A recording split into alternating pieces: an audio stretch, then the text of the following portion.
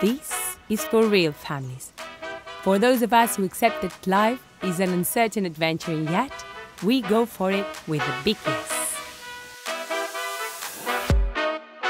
Yes to disconnect of the daily routine and obligations.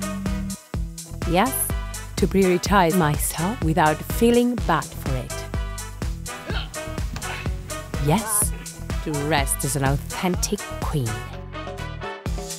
Yes to feel like an influencer. Yes to feel like a girl again. Yes to enjoy without regrets. Yes to be fiancés again. Yes to dance without any shame. Yes to create our own memories.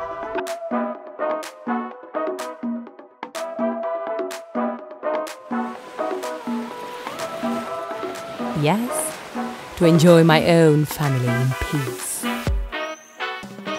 Yes, to real holidays.